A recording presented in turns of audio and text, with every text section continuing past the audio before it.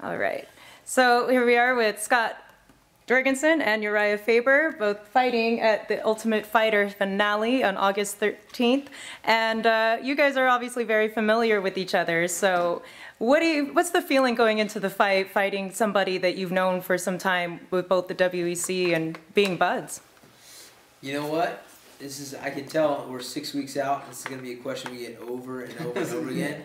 So hopefully it doesn't affect our friendship. the fight won't, but all these questions may. But no, uh, it, it is what it is, man. We're, we're professionals, and uh, you know, we have a, we have a history as being friends, and, and uh, but we're gonna have a history of beating each other up when it comes to April thirteenth, and and everything else will be to the wayside. Yeah. Yeah, you know, it's it is what it is. You know, we both knew this day would probably come. Um, you know, we're both at 135, both some of the, the two of the best fighters in the world, and it's just our time. That's it. You know, we'll go out there, we'll handle our business, and you know, we'll figure out the rest after. But you know, it's it's not going to affect our friendship. We're just going to go out there, beat each other up, like you said, and and uh, you know, best man may the best man win, and we'll carry on forward with our careers from there. So. And for that matter, with being able to see each other's fights so much with both the WEC, even though you were both different weight classes at that time, uh, and you've had a lot of common opponents, Barao, Cruz, Wineland, uh, how does that, is that an advantage to you or a disadvantage to you to have seen so much of each other's fights and have so many common opponents? You know, I, I don't think it does. You know, I think I've been, since I started fighting, I think I've been to almost every one of your eyes. He's probably been the same to mine, almost every one. We've seen each other. We've got common opponents. But the beauty of this sport is every day you step inside the octagon, it's it's it's a new fight. Doesn't matter what happened last week or you know two years ago or what happened when he fought Barao or when I fought Barao. We're two completely different people. It's a completely new fight and it's a completely new day. So you know I go in there with the the mentality that I'm ready for anything. You know whatever that fight may go, i am going to be prepared and ready to fight. And I'm you know I know you're right. It's going to be the same way. So I don't think either one of us are looking back at our past going, you know, he does this or he does that. You know, we're both expecting fireworks and going to deliver. So.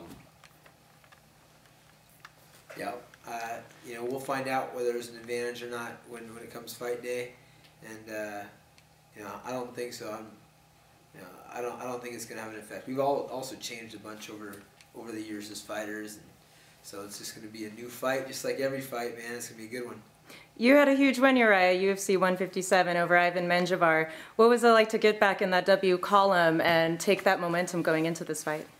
Felt good. You know, I was one fight removed from from uh, uh, my last victory against Brian Bowles, and uh, you know to go in and, and get back in a winning track. It wasn't necessarily that I haven't won fights lately. It's just been a long time since I fought. I fought once last year. It was against Renan Barao. I filmed a reality show. I broke my rib during that fight, so I was out another four months. And uh, it just feels good to be active. You know, this is eh, the, the best the best way to go in and, and fight is when you're in that mode, and it's it's better to stay in the mode when you can go one fight after another. And you know, this, this is perfect for me. Getting into the UFC rankings, you're right up there on top now. Both of you are actually in the top 10 for the bantamweight division. Do you feel that that this fight holds a lot of, I guess, importance towards rising to that next level and getting maybe a shot with the interim title? I think so. I mean, whoever wins the fight is going to be a step closer, that's for sure. You know, rankings are rankings. It's all opinion until you're holding the belt. So, to me, the rankings don't matter. I think definitely, like Urijah and I, the winner out of us definitely has to be uh, right up there. Uh, we are two of the best in the world, and you know we're gonna go in there and show why. So. Yeah, you just had that uh, submission victory over John Albert, and that was also a big win for you. You had a couple of losses right before that. Did you at any point feel that the pressure was mounting for you to have to get a W in the UFC? There isn't pressure. I always want to win. I don't care if I've lost three fights in a row, one fight in a row, or I'm on a five-fight win streak. I want to win. Um, you know, I, I lost to Renan Barao in what I feel was a close decision. I feel like, uh, you know, my fight with Eddie, I was I was winning up until uh, he, he knocked me out. So um, I learned a lot from the fight with Eddie Wineland. I learned, I went out there, I, I submitted John Albert in the first round, walked away with fight of the night, submission of the night, and, and a victory. So uh, it's been a good, it was good end of the year for me after struggling my first two fights last year. And, uh, you know, just keep it going. You know, I keep I kept looking up and looking forward to the next big thing. Next big thing sitting next to me, and I'm gonna go punch it. And you had mentioned before that you and Urijah had, you and Urijah had sparred together, and that you also had um, tweeted how much Urijah was responsible for bringing you up to where you are in MMA and having that drive to, you know, really go at it full strength. Uh, can you talk a little bit about that and tell us, I guess, how Urijah basically influenced your drive to compete at a higher level in MMA? I, I, you know, I was wrestling. Urijah was coaching at UC Davis. He, you know, we always talked. I was a big fan of MMA, and you know, he was fighting, so I was asking him questions. And he, one day, you know, he's like, "You should, you should fight. You should try it out. I think you'd like it. You know, you make a little bit of money and all this." And I finished my college wrestling, fought, loved it. Trained a little bit out there with uh, Urijah, his guys, took some fights, fell in love with it more. Signed on with the WEC, and you know that was it. You know that's all I've done for the last you know six, seven years. So, um, you know it was it was big. You know he introduced me to our management. You know we share the same manager, a lot of the same friends. You know been he, we were on forum together, and a huge part of that was because he was over there telling forum, you know, you got to pick pick Scotty up. Scotty's a good good guy for us to have, and you know, I appreciate everything he's helped me out with, and uh, you know, but um, you know, it's it, it was a huge part for my. He was a huge part of helping me get my career going for sure. So. Now, I understand he also kind of has delayed uh, vacation for you to Hawaii. Can you tell us about that and uh, what the reason was behind you actually uh, going to take a trip to Hawaii? Oh, man. So I fought Albert when I was extra bonus money. And for the first time in, you know, I don't know, like four years, I was going to go on a vacation where it was non-fight related. I was going to take my girlfriend off to Hawaii, propose, and had all these nice plans and beach house set up and all this stuff. And we're three days away. I get a call from the manager, from our manager saying, hey, you ready to fight? You ready? And I'm like, yeah. Who? When? Uriah, April 13th. And I'm like, what? I was like, you kidding? He's like, no, that's it. And I'm like, all right, well, you know, I, I've never been one to pick my fights. She looked at me after I told her and goes, you can't go to, we can't go to Hawaii now. We gotta, you gotta get your ass ready for this fight. Like, uh, okay, well, we can find a way to go, and it didn't happen, obviously. So she didn't know what was coming up in Hawaii, so we I flew her down here to Vegas for a couple days early to spend time with her family. I flew in later on Mon- or I flew in Monday, got everything all set up, popped the question up top the Cosmo, and now I can focus on this guy. She did say yes, right? Oh, she said, and, but uh, you wouldn't be hearing about it if she said no. I'd be, I'd be a hell of a lot more angry right now. But uh, um, you know, now I got to focus on this guy, and I don't have to worry about the stress of popping a question, or she can take care of all the wedding stuff. I'll fight him and take care of business. So. Nice. Now, um, back to uh, the fight itself. You guys got this call because the uh, flyweight championship was off. So now you're the main event. Is the short, shortened training camp period at all going to be an issue? Is it actually kind of, uh, I guess, lesser of a training camp than you would normally have? Um, for me, I've been training. I always, I'm always training. You know, I'm always, you know, I may not be in a full training camp type mode, but you know, I'm always in shape. I'm always kind of ready to go because of situations like this. So, you know, I six weeks isn't that short for me. You know, I've I've done it before. I've done it. I've done it on shorter notice. You know, I've, I'm I'm a wrestler. I know how to get ready for for competition, and and so it doesn't matter to me. Urijah's coming off a fight, so he's already gonna be in shape. And, hopefully he's taking like three weeks off before we uh, put a couple pounds on. yeah. So uh, you know, for me, it doesn't matter. It's just another fight. I'll be ready to fight. I'm always in shape, and I'll be ready to go. So. Nice. Yeah, I, I stay ready. You don't have to get ready, and uh, that's my motto. I've always been been ready to rock. I don't think I've ever been out of shape my whole life. Although I did have some serious cankles after a trip to uh, Ohio and, and putting on a 20 plus pounds after the my fight, but uh, you know they're gone. Cankles are gone, and uh, I'm ready to rock.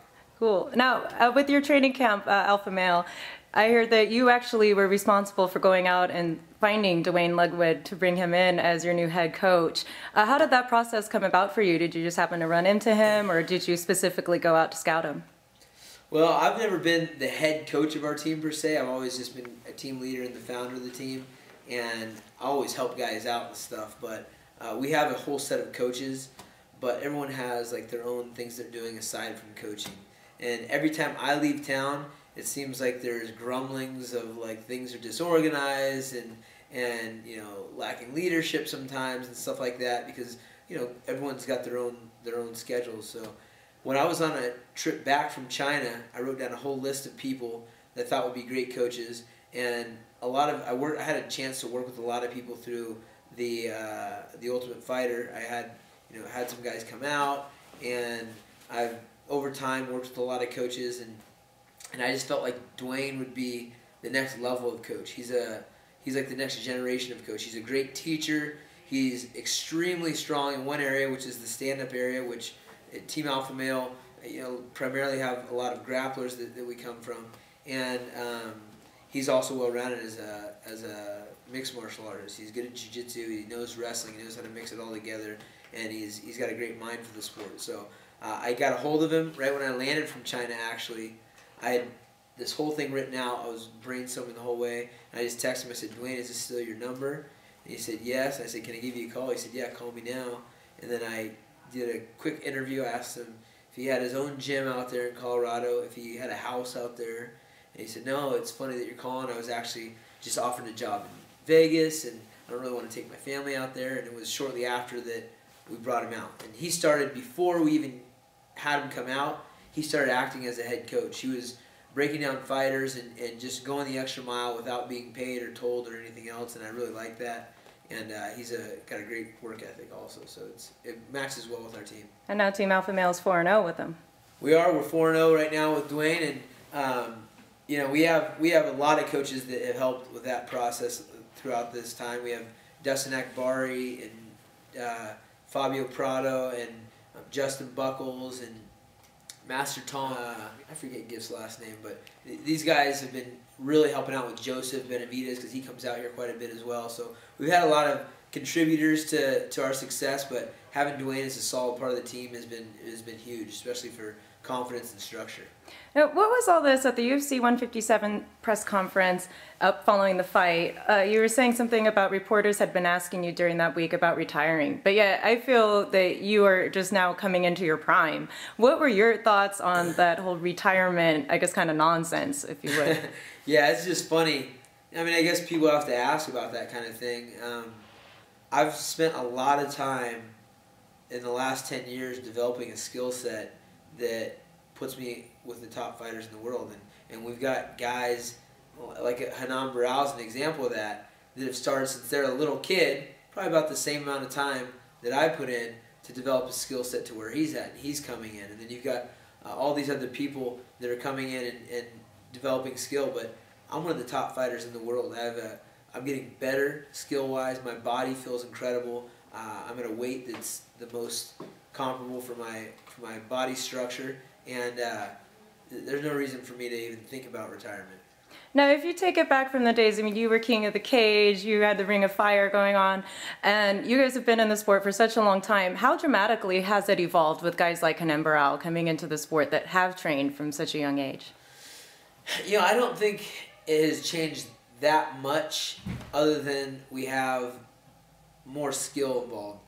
For me, the the big thing with a champion, the mindset is is number one, and you're not going to get guys with a tougher mindset than some of the champions that have been throughout, you know, been here throughout history. Guys like Randy Couture, guys like Chuck Liddell, you know, guys even you know Tito Ortiz and Mark Coleman.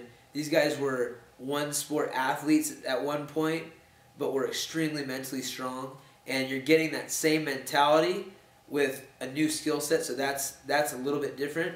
But the mindset will still win over a diverse uh, technical game. You know, if you have a strong mental, mentally strong guy, and he's going against a guy who's not as mentally strong but has been training for a long time and knows some cool stuff, uh, I'm always going to go with the mentally strong guy at the end of a fight. Yeah. Do you have anything to add to that, Scott? Um, I, I, I think you know a lot of what you're right. I'm a huge mental guy. Like uh, you know, you believe in it, you, you trust in yourself, and you go out there and you perform. Um, you know, but I think kids starting younger definitely gives them a you know they've they've had the same ability like Urijah was saying. You know, we're just older. We've been training probably as long as them, but we're just a little bit older, which you know, comes with its, uh, you know, its experience, and we've got that. Uh, you know, I think we're a little bit more savvy about how we go about things. We understand how much work it takes to be successful. Um, these kids are still coming into it, the younger kids. But uh, you know, I, I think it hasn't changed the sport very much. The only thing is, you know, it has become a more technical sport, and you know, it, all it does is it closes that gap between a champion and that number, you know, ten top that top number ten top ranked guy, and on any given night, you know, it makes that that that margin razor thin, you know, and it makes you be sharp. You have to be on point to maintain maintain your title and and maintain a winning streak in this sport. So you know, it's I think that's the big thing is it, it makes you be still it makes you honest in the fact that you're training hard, you're you're you're sharp and and you're dedicated to the sport. So. Now, um, for the interim bantamweight championship next up, we have Renan Barão versus Eddie Wineland. And again, you guys are both familiar with them as opponents. And what are your thoughts on that fight? And who do you see taking it if you want to give, I guess, a prediction? Um, you know, I that fight, I think it'll be it'll be exciting. Eddie will get in there. He'll mix it up. He's not afraid. He moves well. Um, uh, from my personal experience of fighting the two, I think Barão's going to win. Um, even though Eddie finished me, you know, I didn't feel he, he didn't get a lot through until he landed the final shot that knocked me out. Um, he dropped me once, but outside of that, he landed two big shots. You know, I, I think I was beating him up. I was winning the fight. Um, Barão was a lot harder for me to hit, and he's he's he deals he manages his range really well, like I was saying, and he's he's able to do damage when he needs to. And I think the thing that we realized against McDonald is the guy can he can actually take a guy down. He has a, he has a pretty solid wrestling base, obviously, and, and he's tough on the ground. You know, he's, I don't know if he's a brown belt or black belt, but we went out there and submitted McDonald after fighting very smart and wearing him down. So um, I got Brown, but. Yeah, I'm gonna give Barão the edge. Eddie's been looking great lately. His uh, striking is his best asset. He is no slouch anywhere else, but um, Barão's, I think, going to be too well rounded for him. And he's very durable also. He's young and he's strong for the weight. So I, I think that's going to be the difference, you know, being a little bit more well rounded. And just to wrap it up, after this fight's over, you guys, I'm assuming, would go back to just being buds. I mean, would you take each other out for a beer or anything right after? yeah, we'll probably have our after party in the same place. I think that's actually in the works. And we'll be buddies during the fight, too, just it's going to be ugly. It's not the kind of friendship anybody else wants to be in, that's for sure. yeah. Cool. Well, I appreciate your time, both of you, and wish you all the best. And uh, I guess it's going to be interesting to see what happens when two buds go into the ring on April 13th at the Ultimate Fighter finale. Thanks.